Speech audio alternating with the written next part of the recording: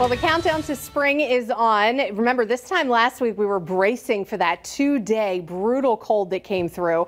By the end of this week, we may be talking about breaking some record high temperatures. So big swings happening in the month of February, but we still have a month and change to go until spring officially gets here. But we're definitely seeing signs already, not just the abnormally warm winter that we've had so far, kind of unrelated, but that higher sun angle this time of year starts to make a difference.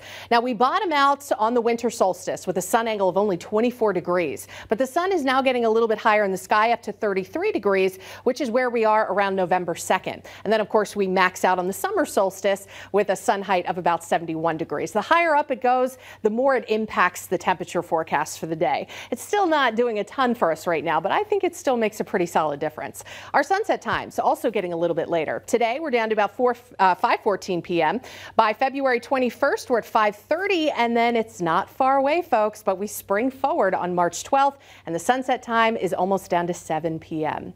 High temperatures across the country today, chilly across the Intermountain West, Northern Plains, and quite warm across the southeastern U.S. Tomorrow's temperatures a little bit cooler for New England, still very warm in the southeast, uh, and then maybe a little bit colder throughout the Northern Plains. Still a lack of that you know, significant Arctic air. We were the really only spot across New England last week that had it, and it's gone now. We've got nothing but warmth coming up in the next seven days.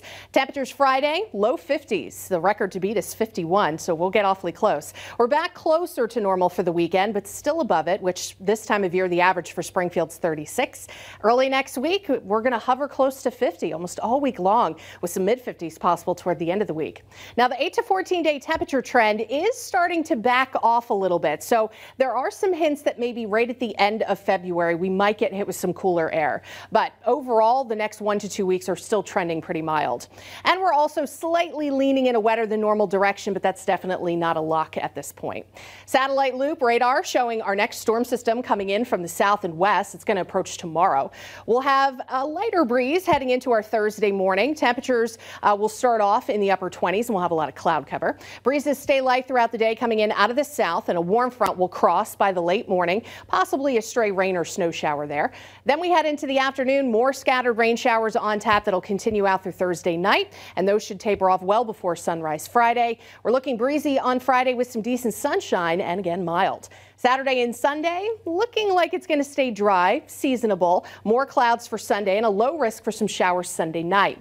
We're back to dry conditions early next week and then it's mild through the end of the week with a few rounds of showers. Back to you guys.